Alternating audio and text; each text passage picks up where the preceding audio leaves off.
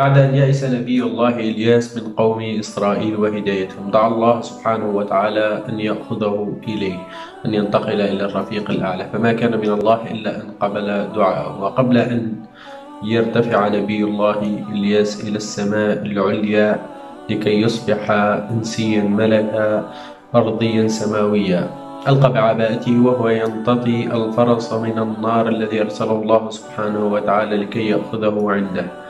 إلى نبي الله اليسع لكي يخلفه في بني إسرائيل كما رويت لكم في حلقة نبي الله اليسع. اليوم سنستكمل قصة نبي الله اليسع.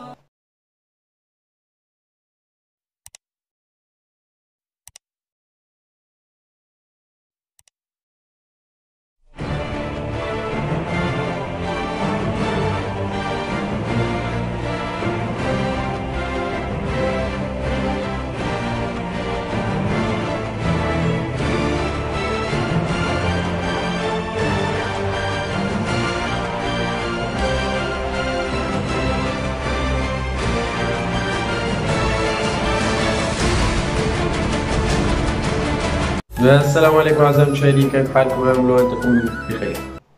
نبي الله اليسع إذ ما بدأنا نتحدث عن نسب هذا النبي قد نختلف قليلا حوله. فهنالك من يقول أنه ابن أخطب وهنالك من يقول بأن إذ ما تتبعنا نسب نبي الله اليسع سيعود إلى سيدنا يوسف ابن يعقوب ابن إسحاق ابن إبراهيم الخليل. وهنالك من يرجح أن نبي الله اليسع هو ابن عم نبي الله الياس وكلها من الإسرائيليات أي لا يمكن النطق بها مئة بالمئة ومع ذلك لا يمكن تجاهل هذه المعلومات بعث نبي الله اليسع خلفا لنبي الله إلياس في قوم بني إسرائيل. وقد تناولنا هذا في حلقة نبي الله إلياس التي إن شاء الله سأترك رابطها في وصف هذا الفيديو.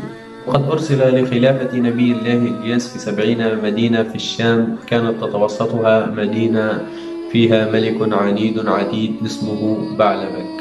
وكان يدعو بني إسرائيل إلى عبادة الله سبحانه وتعالى والعمل بالتوراة والعمل بما جاء به الأنبياء من قبلهم وبالأخص ما أنزل به موسى والأحكام التي أتى بها موسى والشرائع التي وجدت في التوراة. ولم يختلف منهاج نبي الله اليسع عن منهاج نبي الله الياس بحكم أنه قد تتلمذ على يد هذا النبي وأنهم جميعا أرسلوا إلى قوم بني إسرائيل الذين قد أخذ جميع الأنبياء خبرة حول هؤلاء القوم الفاسقين.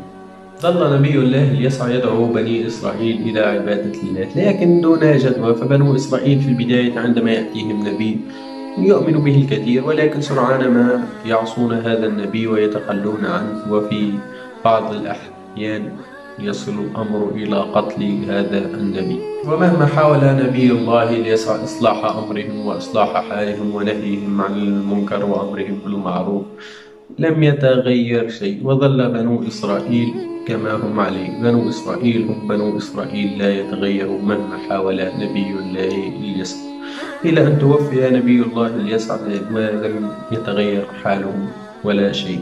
فخلفه الله بنبي آخر اسمه شموئيل من باب الذكر عزيز المشاهد هنالك من يقول بأن نبي الله ذو الكفل الذي هو أصلا قليل من يعترف بكونه نبي قد تتلمذ على يد نبي الله اليسع. والله أعلم. لأن هذا النبي لم يرد ذكره في القرآن الكريم إلا في موضعين بإيجاز أي ذكر اسمه فقط في سورة الأنعام وسورة صاد.